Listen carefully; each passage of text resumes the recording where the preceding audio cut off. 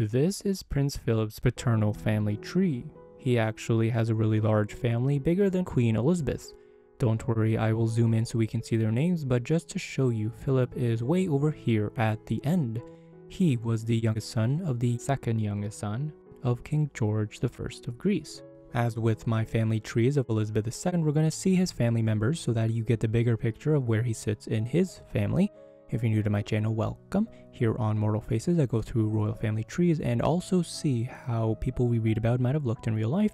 Lots more on my channel you can check out, so thank you for watching, subscribe for more recreations and trees, and let me know in the comments who you'd like to see in upcoming videos. This is the Greek royal family, but they're not really Greek. King George I of Greece was born a Dane prince, so basically what happened was for 400 years the Ottomans ruled Greece. Then the Greeks had a revolution and the big three, Britain, France, and Russia, supported them. When they won, they made Greece into a kingdom and put Prince Otto of Bavaria, who was Empress Sisi's first cousin, onto the throne. He didn't work out, so then George of Denmark was elected. George married the Russian Grand Duchess Olga and they became Prince Philip's grandparents. Let's take a look at these colors. All the purple are first cousins to one another, assuming they're not siblings. They're all Prince Philip's first cousins. The red are their children and are second cousins, not to Philip but to each other. They're King Charles's generation. Same goes with the blue. The blue are their children, who are all third cousins to each other. They're Prince William and Harry's generation. And then we see the green, which are their kids, or fourth cousins to each other, which are Prince George's generation. And finally, some blacks who would be fifth cousins to one another. So we'll zoom in and we're going to see George and Olga's first child, Constantine. He became the next king after his father and had six children from 1890 to 1913. There are two first cousins born in 1890. This is one of them, which is a 31 year difference to when Philip was born in 1921. Constantine's eldest child had no kids, which was interesting because if we look back at Elizabeth's maternal and paternal family trees, her eldest first cousins too on both sides did not have any children either. Moving on to the next four children, their descendants became kings and queens of recent monarchies. We have Prince Alexander and Queen Alexandra of Yugoslavia, whose son is the pretender of the defunct Yugoslavian throne. Helen became Queen of Romania, whose son Michael became king. He recently passed away in 2017. His daughter is the current pretender of the defunct Romanian monarchy. When Constantine died and his older sons King George II and King Alexander also died, his next son Paul became king of Greece in 1947. This was the same year that his first cousin, Prince Philip, and Elizabeth were getting married. He could not attend their wedding as he caught typhoid fever, he had three children. His first daughter was Queen Sophia of Spain. She has three children, Elena Christina and the current King Philip VI of Spain. Sophia's brother Constantine inherited the crown after their father Paul, and he became Constantine II of Greece, and his family is the current pretender of the defunct Greek monarchy. And then their youngest sibling is Princess Irene in 1942, who had no children. After Paul comes Irene in 1904, who became the Duchess of Aosta. Her family is one of two claimants to the defunct Italian throne. Her grandson, Prince Aimone, the current pretender, is married to a second cousin once removed, who is the youngest one from this same Greek family, which we're going to see at the very end. Lastly, we have Princess Catherine, who married a British man and became Lady Catherine with her own family.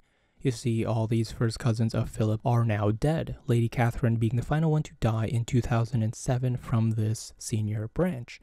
And this is the senior branch of the Greek royal family. It comprises of all these major kings and queens that recently got deposed within the 20th century except for Spain. Following Constantine, his next brother was Prince George. Prince George had two children, Prince Peter and Princess Eugenie in 1908 and 1910. Peter had no children, but Eugenie had three. Princess Eugenie first married a Polish prince and then a German prince turned Italian duke.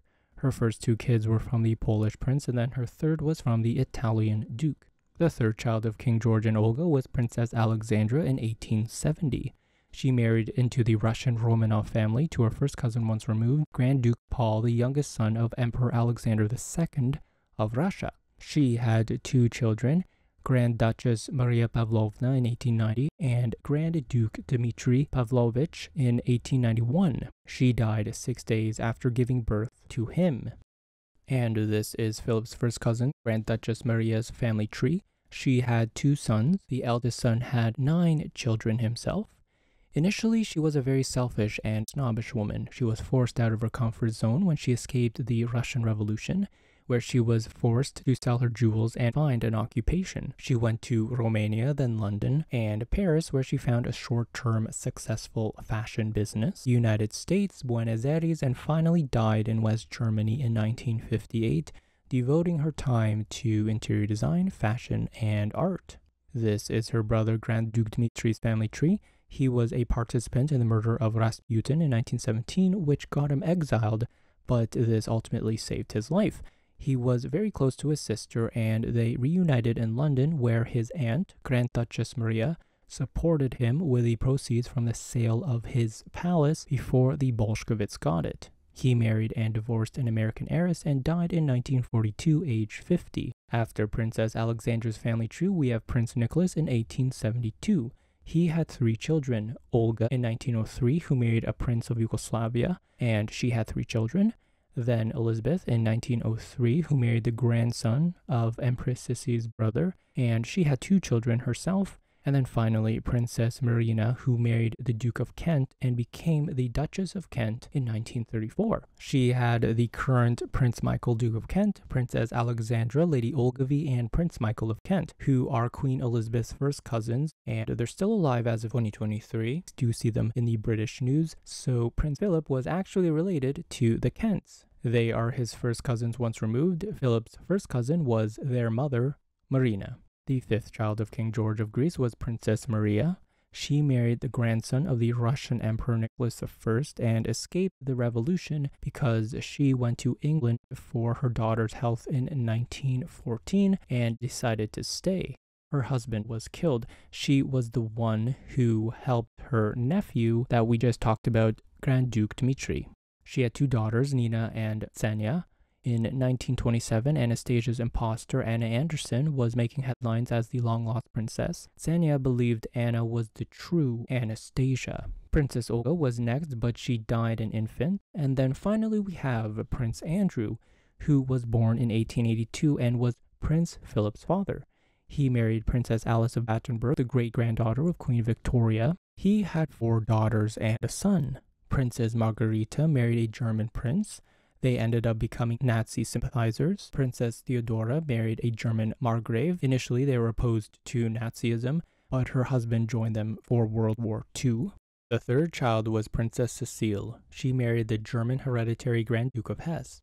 They had four children and were members of the Nazi Party as well. However, their lives were cut short. The Duke and Duchess, with their two elder sons, were flying to England for the wedding of the Grand Duke's younger brother, in 1937.